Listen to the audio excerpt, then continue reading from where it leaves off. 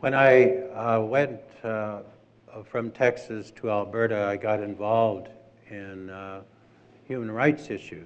A minister of the government of Alberta uh, gave me a ton of work, and he had a separate agenda. He called me in one day and said, There's a reason why I gave you all this work. Is that I want you to help your people. I thought, well, us architects need a lot of help. He says, No, you're native people. Um, my uh, father is First Nations. He comes from the uh, uh, Good Striker and the First Charger clan, uh, who uh, were the first warriors that met their adversaries.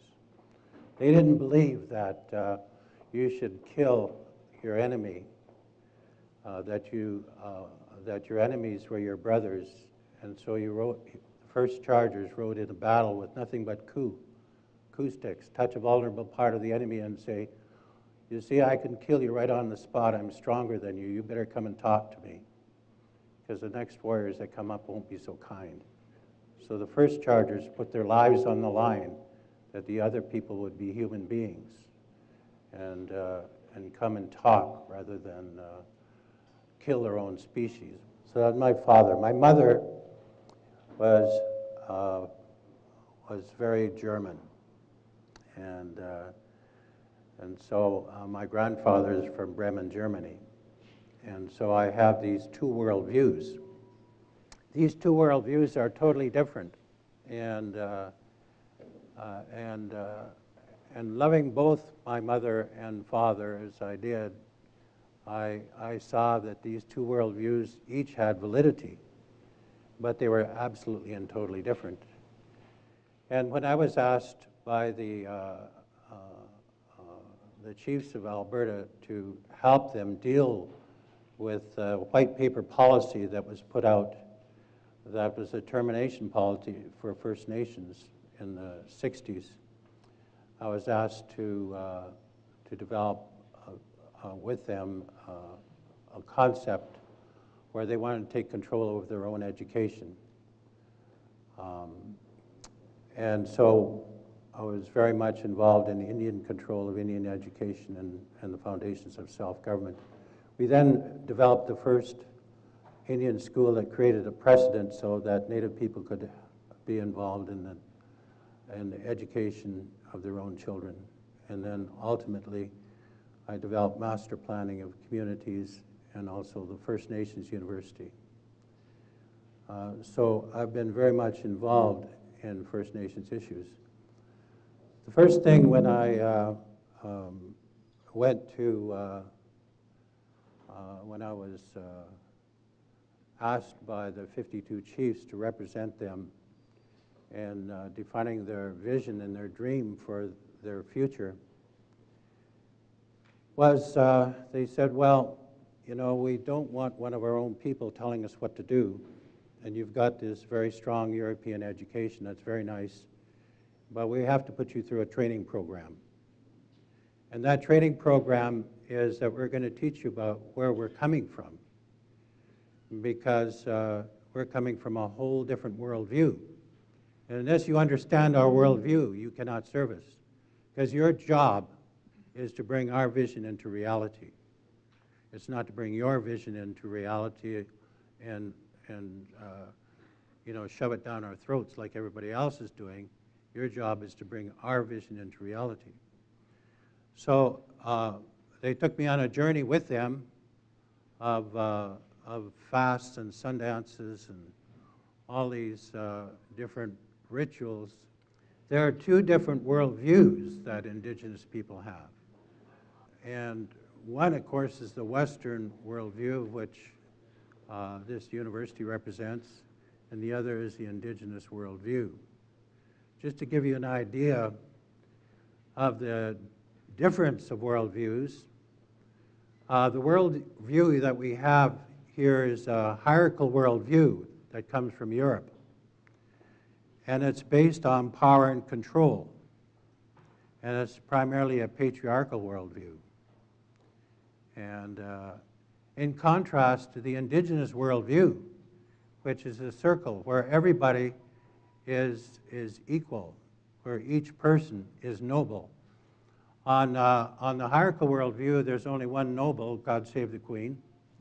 And, uh, but in the indigenous worldview, everyone is noble. In the hierarchical worldview, everybody uh, has a place in that pyramid. And it's a very structured society. So the system is based on a patriarchal system, placing men at the center of power. It requires man to be dominion over nature and his own nature and it is responsible to hold the hierarchical system and seek the place as close to the top of the hierarchy as possible.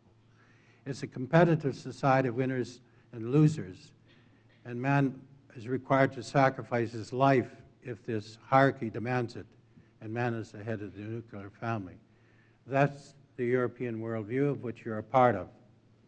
The indigenous society is an extended family. It's primarily a matriarchal society which encourages cooperation.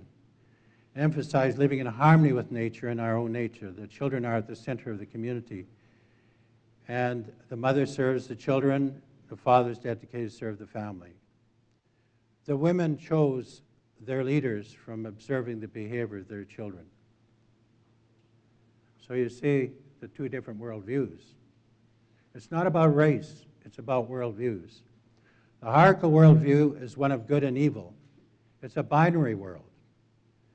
It gives power to the evil within us. We are born with original sin and must seek salvation to be at one with the Creator.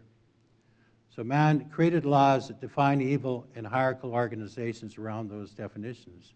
There's assumption that we're not fully responsible for our actions because evil is so powerful. You know, we're not responsible. The devil made us do it. Because of fear, we sometimes give the responsibility of charting our lives to others we regard more responsible, like the church and the state. See, we are not fully responsible. There's always somebody else more responsible. In the indigenous worldview, people are beautiful spiritual beings of light housed in flesh, connected to the Creator and all living beings, as well as the universe and beyond. There is no evil. There, one does not need to fear themselves nor the Creator, which is the embodiment of love and caring. There is a belief in following one's own heart and one's own higher self, where we are godlike beings and we are basically loving and caring creatures. There's only good and a crooked good that needs to be straightened out. They wouldn't even give even a, evil a name. It's a mental space everything is good, everything is wonderful, things sometimes, if things get off course, they just need to be straightened out. So we're fully responsible to straighten out our own negative thinking, or we'll give ourselves a headache or make other people around us suffer. We may even affect our whole environment. We have to be fully responsible to keep our minds in a good way. So that's a whole different way of being, a whole different way of thinking. So a hierarchical worldview believes that a child is a tabula rasa, a clean slate. Knowledge is like a pitcher of water. You pour into the ear, and you go to university, and you're filled up with all this stuff, this outside information. And when you conform to all the guidelines that you have and you jump all the hoops that you do, uh, you get your diploma, and that places you in the level of the hierarchy which is predetermined by society. To gain credibility, you seek the knowledge of others. And the only contribution you make must be legitimized by those deemed more knowledgeable than you. So that's all your papers in university. If you don't have a bibliography, you know, to, to make certain that uh, that knowledge comes from somewhere else other than yourself, then you get a failure. Because knowledge is outside yourself, it's not within yourself. So you're programmed that way. So you're programmed to believe in that worldview. Now, the indigenous society are born complete. You seek knowledge from within yourself and the Creator that guides you. The knowledge that has little value unless it's relevant to your own inherent knowingness. We are the grandchild of all our ancestors that came before us, and we are the grandparents of all the future generations. Within us is all knowledge of the past, present, and future. So that's a whole different way of thinking, a whole different way of being. So the hierarchical worldview has created powerful technologies like this computer, but all these, these technologies were designed for weapons of mass destruction. This was designed to zoom in in the back pocket of a Russian and plant an atomic bomb. That's our computer technology. And the internet and all these things and all the technology we have. It's about competition. It's all about uh, power and control. And the whole society is dominated by fear. Because the only way they can control people is through fear. So there's always these things that you have to fear. And there's always somebody, the church or state, that's going to protect you. So, what freedom do you have with that kind of programming? The indigenous worldview emphasizes creativity and ingenuity, balancing the needs of the people with the resources they need to survive. It requires a basic knowledge of the environment and a reality grounded in the understanding of one's place in the universe. It regards the hierarchical worldview as an illusion that has little relevance to the true nature of man and his relationship to his environment and his creator. To reject who you are to fit in this illusion is a rejection of the wondrous being that God has created. One must celebrate life and embrace love oneself, for only through love will you become a knowledgeable being. So, this whole program of trying to integrate First Nations into a, a worldview, an indigenous worldview, into a hierarchical worldview, will not ever work. Not in a million years will indigenous people buy the hierarchical worldview. So if you're interested in developing uh, an indigenous center on the campus here, it is respecting the fact that the people who will be involved in that center have an entirely different worldview. And, uh, the, and I have found that from my own experiences, both European, from my German mother, and First Nations, from my um, Blackfoot father, that, uh, that I can see that, and as the elders predict, that these two worldviews should come together that we have a lot to learn from each other. Yes, we have all this great technology, but what are we going to do with it? Because we're destroying all of life on this planet the way we're operating, because we're so disconnected from each other and so disconnected from our, from our environment and, and from our resources. So as far as the ind indigenous worldview and the elders that have been here thousands of years, they say, yes, we have this plague that has come here, has polluted all of our rivers and polluted our waters and everything else. But the plague happens to be not the people, it happens to be the worldview. And that worldview has got to change because we, we won't be able to live on this planet in harmony and balance unless it does change. So I'm saying that it's a great opportunity for people to understand and embrace another worldview of harmony and balance because one can learn a great deal from that. So, how do you plan for people that are connected in this way, that have this symbiotic relationship with their environment, that regard everything the trees, the herbs, the plants, the animals, the fish, all of these things as their relatives. When they talk, they say, all our relations. That's every living being. How do you, how do you deal with people who don't see themselves as physical entities, but see themselves as life forces? that life forces that are all connected to each other and all connected to everything that's living. It reminds me when I work with First Nations, and I am working now with uh, developing an Indigenous center the campus of the University of Saskatchewan, and also working with the First Nations community, Long Point, in uh, northern uh, Quebec. And I'm reminded how really, uh, really connected the people are in their environment and having this symbiotic relationship with nature. So I wanted to share with you some of the planning process. Now, this is their philosophy. And at one time, we were all indigenous people until uh, we decided to disconnect ourselves from our environment and from each other. All life is connected. We follow the natural law, the basis force of nature earth, air, fire, and water. We are an intrinsic part of all life on this planet, no matter how insignificant it may appear to us. You see that, that spider on that flower. The elders call that little creature Manitousis.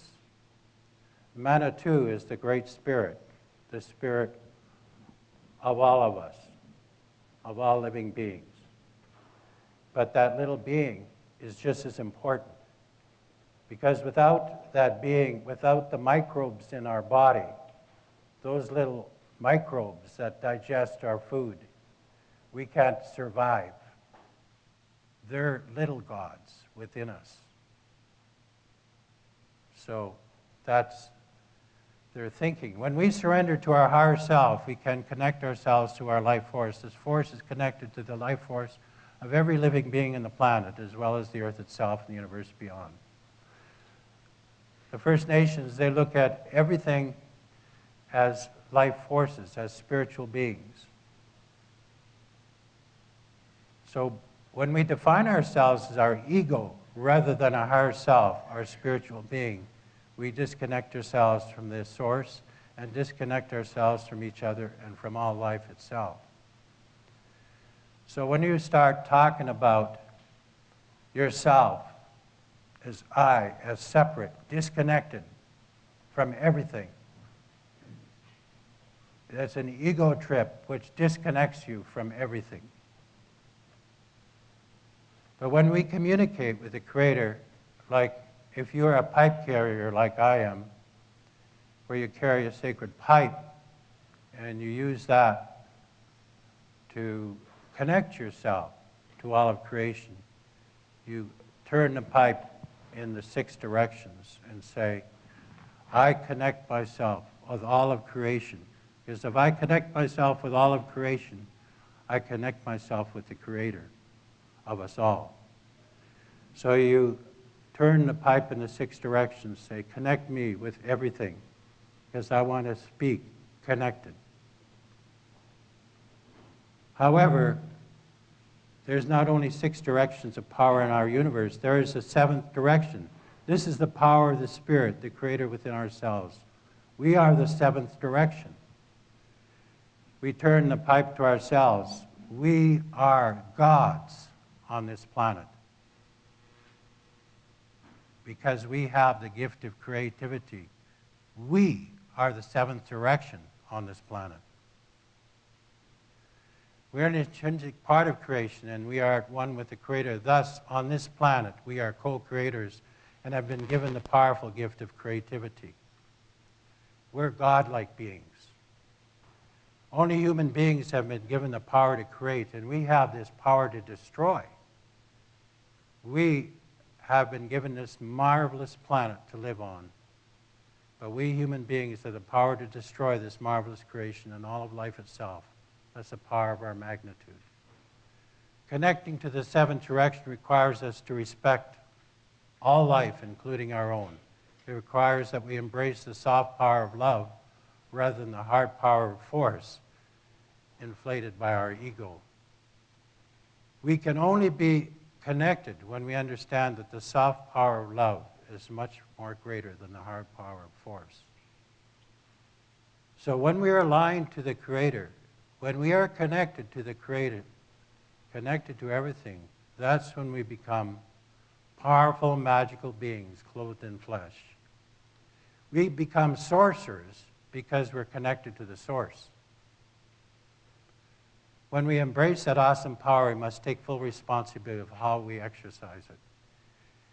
You have to understand how powerful we are as human beings. What an amazing gift that we have, that gift of creativity. We can say, I think we'll fly like an eagle, and we'll create flying machines. I think we'll fly faster in sound. We'll do so. I think we'll fly to the moon. I think we'll fly to Mars. And we create those technologies to do that. That's what wondrous creatures that we are. But we have an awesome responsibility of the power that we have. And we're not exercising that power properly. Because we're using that power not only to destroy each other, but to destroy all life on this planet as well. The universe is all powerful. When we are connected, you become a channel for that energy. Each individual has the power to make a difference in the course that humanity takes. It is the creative efforts of each individual that determine the destiny of our future. So, with this knowledge comes an awesome responsibility. This is what the responsibility that the elders had before contact. That's why when people came on this land a few hundred years ago, there was a veritable Garden of Eden here because everything was in harmony and in balance. They had as many people here as they had in Europe before contact, but the land was in balance and harmony. Because their philosophy was to respect all living beings on the land we share, maintain balance and harmony with our environment, create the systems we require to be sustainable, heal ourselves, our families, and communities, and all people who share the land with us, and heal our traditional lands, our environment, and heal Mother Earth, the source of all life on this planet. That is their commitment. And I think that that is something that the elders and their prophecies and their teachings should be able to share with people. And that's why I have done my best to try to preserve those teachings of the elders, why I made that commitment to, uh, to bring that First Nations University in Regina into reality, I'm still working on trying to develop a center for teachings, the elders' teachings in Victoria Island, and hopefully be able to channel some of those teachings through universities. So when we plan for the future generations to thrive in our lands, we must also plan for the future of living beings that share the land with us. And we must plan for the future of our life givers, for without them, our future is in jeopardy. Like, you call this planning? You call what we're doing in our cities planning? You call clear cutting planning? It's like having a Safeway store and no, you know, and people just coming in and taking everything and having no inventory. Like there's a, it's not a bottomless pit. You know, that's not planning. That's exploit, exploitation. Like when you plan, you should plan for the future of all living things, not just human beings. I mean, what are you going to eat? What are we going to smell? What, what, trees or whatever. We're, we, we can't just plan for human beings.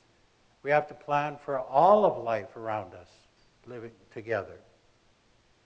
So, how do we plan for interconnectedness? So, there was this group. They had fought for 100 years, and they finally got 70,000 acres of some of their land back. So, they said, Would you come and plan for seven generations? because that's the generation that's affected. So whatever you do affects seven generations. So would you plan for seven generations? I mean, where have we been? Even in one generation, look what we've done to our environment and our cities and everything else. Are they fit places to be in? So I was asked by this community, the elders said, plan for seven generations. Okay. This land, the first thing they did was define this land. This was Kamloops is across the river, and their First Nations is next to Kamloops. So don't plan it like Kamloops. For one thing, uh, they're polluting the river there and killing all the salmon. And they planned the whole community all around their sewage systems, like they planned it all around their assholes. The whole community is not planned around the people at all. And then the, uh, the roads and everything, you know, the rain is hitting these roads, and they pipe all the water and it runs into the river and pollutes all the salmon.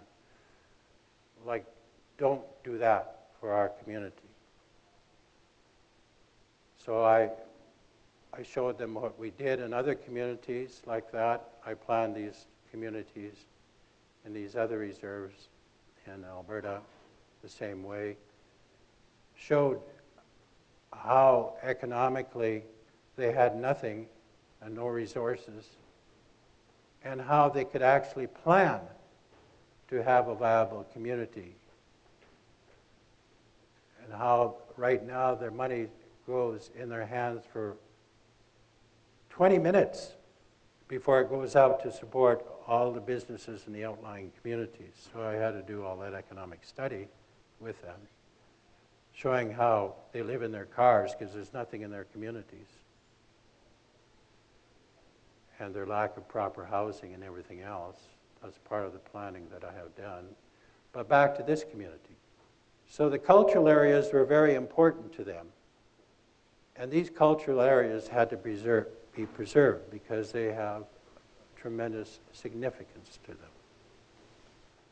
So I worked with the elders to find all the cultural areas. Then also there's these traditional land use areas, the areas where they're fishing and hunting and berry picking and herbs. I didn't realize they had a called balsam root that actually pumps up their immune system. And uh, they have all these herbs and roots there that they want to be preserved as well. So we defined those areas. I did the same with these other communities. And also there are historical areas that had to be defined. I was working with one community up north with this sacred mountain, which was there for thousands of years that people would fast and somebody in Quebec bought it. It's like buying the Brooklyn Bridge. What right has the province of Quebec selling a sacred mountain of the Algonquins to some jerk in Montreal? Give me a break. Here, the elders wanted to show me which areas where the species were at risk, that their great grandchildren are not going to even see these species. And so I had to make sure to plan the future for these species when I was doing the land use planning. And also about the sheep and the bear and all these habitats, had a plan for their future. But they said, we're not going to define which areas of the bear or whatever because they would be endangered. Somebody will get a hold of this document and somebody will go out hunting and try to wipe them out. So let's develop the range for these creatures. I did the same things in these other communities, trying to preserve some of these uh, species that are going to be wiped out. And again, the recreational areas for the teachings, for the young people to learn all about the habitats of these animals. Now, the elders even showed me all the paths of all these animals because we had to respect the paths of these animals in accessing the water because they're our relatives. like they are a part of us. So we have to plan for their future because we are these godlike creatures. We could destroy all these species. We're destroying species every day because we're not planning, we're not caring, we're not loving enough to be concerned about the life of other creatures. Some that have been here longer than we have, we're just a new species. So those are the concerns that we had in the planning, protecting the waterway from pollution because that waterway is the life source of all these creatures, all these plants, all these fish, all these animals. Now there's the document.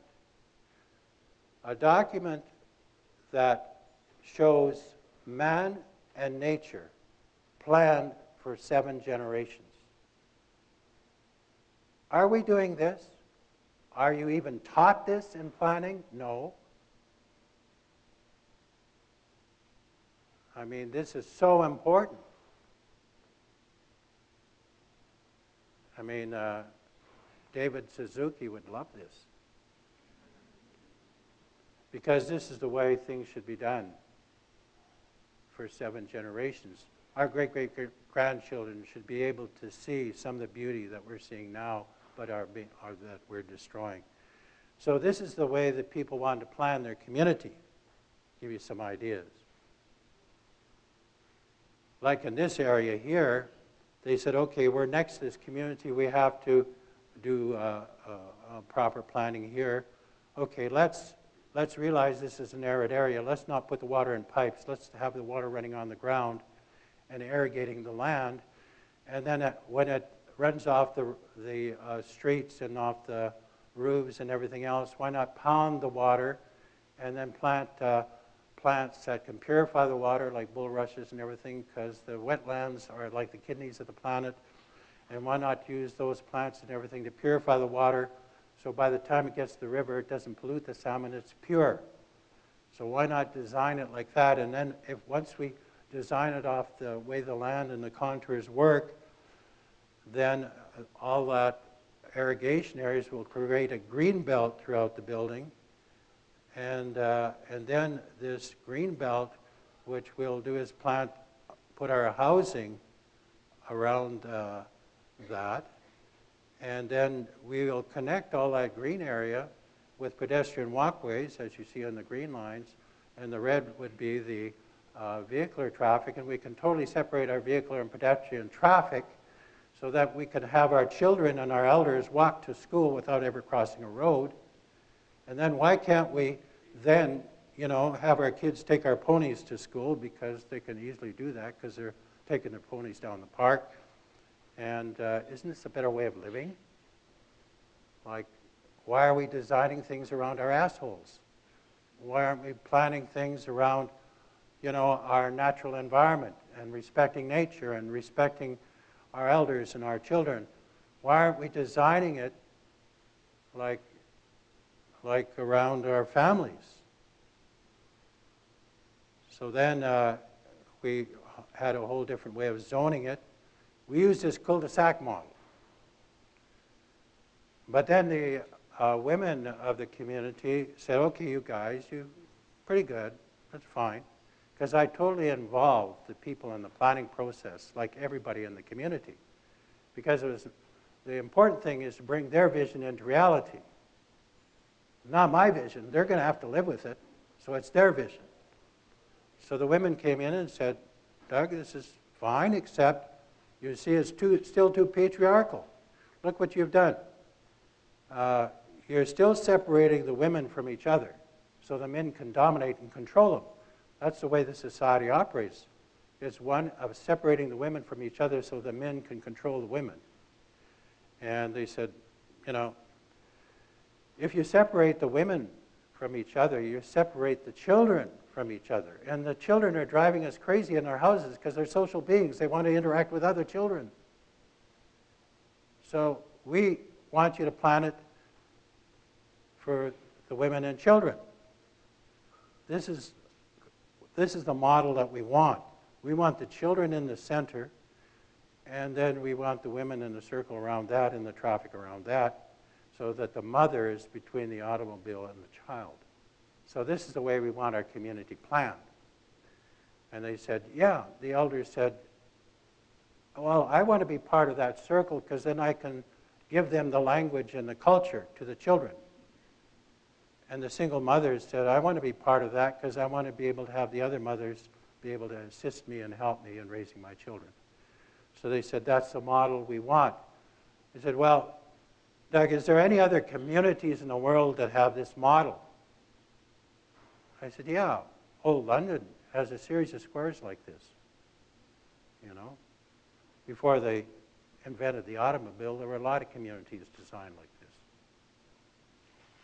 So he said, this is the way we want to plan our communities.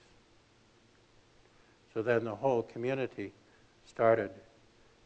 This is a, a IKEA type house that I designed that the people wanted, and, uh, and that uh, we couldn't get it going in Canada, so here it is in northern China.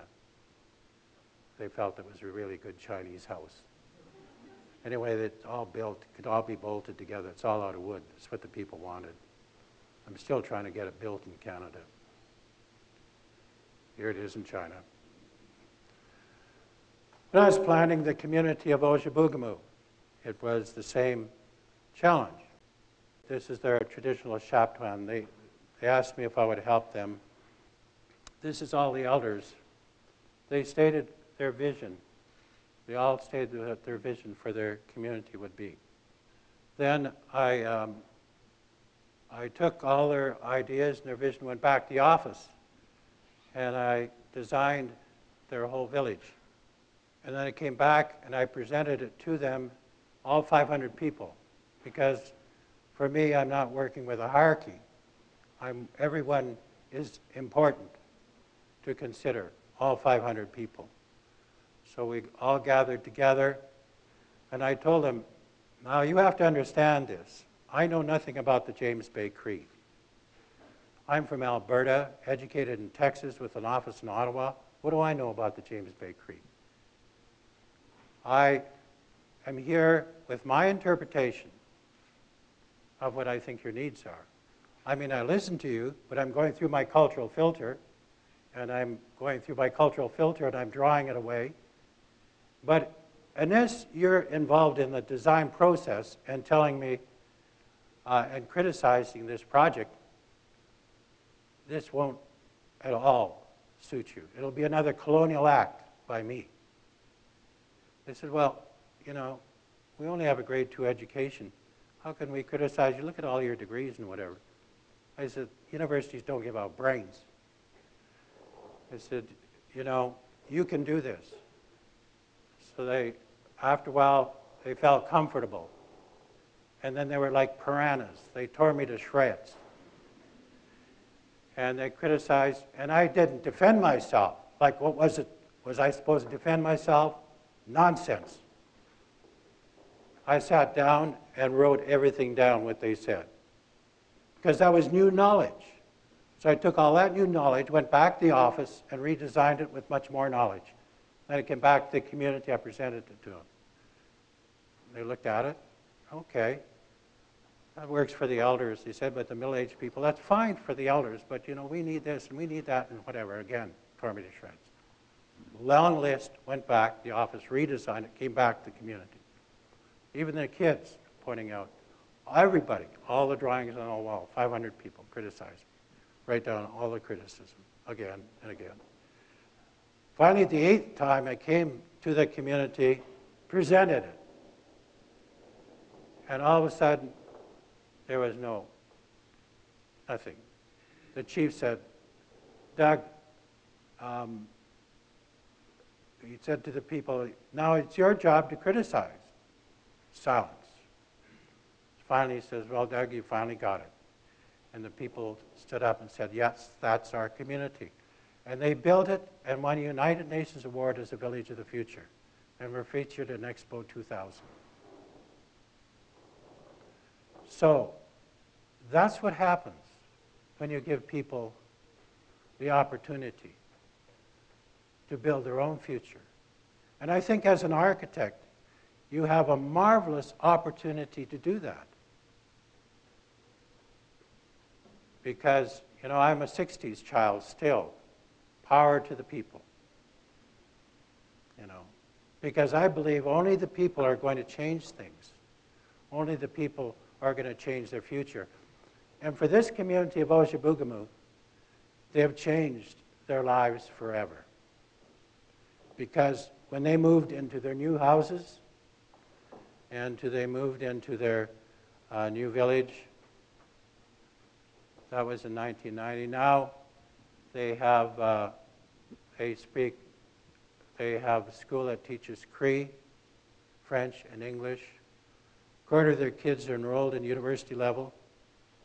They all own their own homes, and they all are employed. And they have control of their lives. And I think that's so important because you see, in Canada, we still have an apartheid policy here.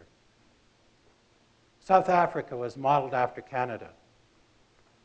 South Africa got rid of apartheid. Canada still is apartheid when it comes to First Nations. So that's where all these problems that you hear on the news of all these poor First Nations community is that we're entirely raped of the resources and history and they're living in the same conditions as when I met these people in Oujé-Bougoumou that had nothing. They were living in tar paper shacks, far worse than the people than the communities that are reporting today. But uh, but these people, you see, they understood that they had the power to make a difference. And when they understood that, they had no fear at all. Because what happens when you're abandoned like that with nothing and you have all these little children, you know, that's going a little too far, the government of Canada, that's just going a little bit too far. And so there was only one way for the people to go, and that was up. And Lord help it when you put people in that position. They were going to get their community no matter what. And they got their community. There's many communities that need to go through what Oujé-Bougoumou has gone through. But the church and state has put so much fear in the First Nations community that they can't rise above it. So uh, these people have risen above it. So these are some of the challenges that you face. Again, we did a hospital in Lookout I did it in the shape of a medicine wheel. And in this hospital, it combines Western healing, all the latest stuff, doctors, nurses, and whatever, and indigenous healing. And the doctors and nurses were the ones that wanted it the most because they found out that the indigenous healing was even more successful than Western medicine. So they decided to join forces with the traditional healers. So we have in here a hospital in Lookout, a $110 million hospital that serves 30 native communities, the size of Germany in northern Ontario, that combines both traditional healing and Western healing. And I had the wonderful opportunity of going and visiting these communities. They're totally isolated. The only way you can get to them is by air. There's no roads to these communities. And they're living in these terrible conditions because all the resources are being mined or clear cut or whatever. But this is a hospital that uh, will serve them for the future. The base of the hospital design and everything was the from the First Nations, the people I visited and the elders visited. In the center of this hospital is where everyone comes together. The elders believe that only when the four races are together in the lodge will the lodge be complete because we're all brothers and sisters working together. And in this center of this hospital, which is in the shape of medicine wheel, that's where everybody comes together and, and gets, goes through the healing process both physically and spiritually. So these are the projects that we worked on. Two are, and also the one in Washington. For me, what's so important is to understand that the architect really has a wonderful opportunity of bringing other people's visions into reality, your client's visions into reality. But in order to do so, you really have to walk in their shoes. And you have to give your clients the power to be able to bring their visions into reality.